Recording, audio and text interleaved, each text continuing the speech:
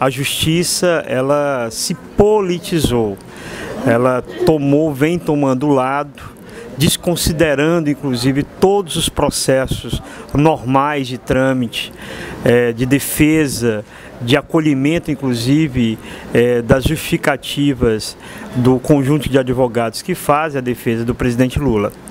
Portanto, a, a, imparcialidade, a dita imparcialidade do Poder Judiciário, mais uma vez é demonstrada como uma, uma falácia. A ideia do poder da elite brasileira é poder inviabilizar, é poder bloquear a participação do povo trabalhador no processo das eleições de 2018.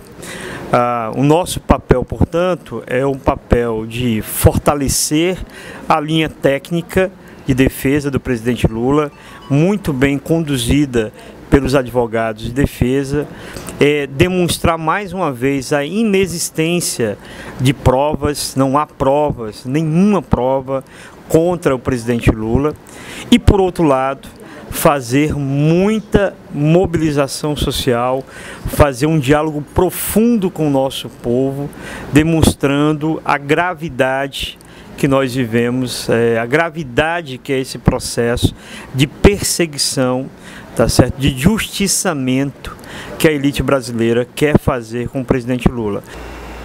Você acaba de assistir mais uma produção da Mídia Livre. Eu sou o vereador Guilherme Sampaio e eu apoio a Mídia Livre. Apoie você também.